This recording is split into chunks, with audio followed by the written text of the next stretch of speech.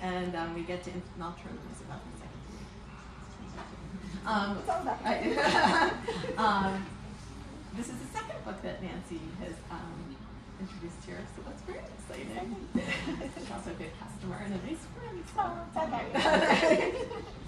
Oh, um, Nancy's uh, and her co-author April Beard um, are launching their memoir Up Bow Down Bow. Um, Nancy's first book was about her son Alex and was called Up, sorry, Up Not Down Syndrome, and shares Nancy's positive perspective of the journey she and Alex have taken. Up Bow Down Bow chronicles the difference that both the cello and April have made in Alex's life. Both books are heartwarming and educational about Down syndrome.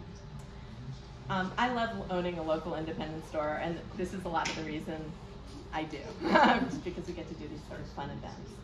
And um, as I said, I uh, met some great authors and made some new friends, and um, it's been really nice for me.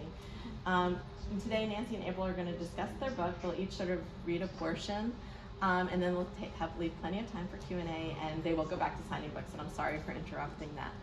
And I just want to say, excuse me when if you stop speaking and I start putting the store back together. It is not rushing you guys out of the store. Stay as long as you want. I just want to put it back for to be open today. um,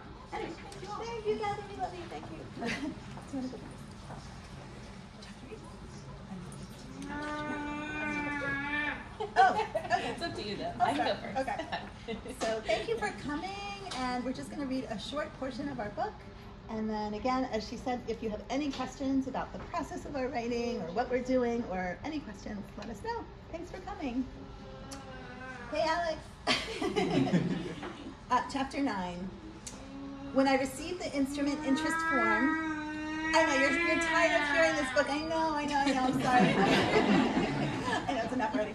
Um, when I received the interest. actually gonna take him for a walk, 'cause he was Oh, he's really bored. Okay, I got it. I got it. It's boring. I got it. I got it. super nice about it. Why Why am I in here? When I received the interest form with its simple question, which instrument would you like your child to learn? and limited multiple choice answers, I thought, he's not going to be able to do any of these things, so why are they even bothering to send this to me? Way